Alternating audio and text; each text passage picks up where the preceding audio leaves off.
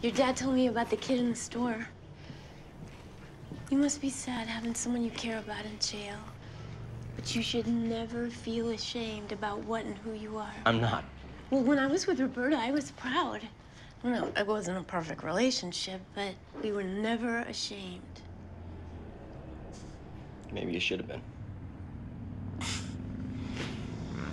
So, how about after Carl's game, I take you out? Cheery up. Maybe.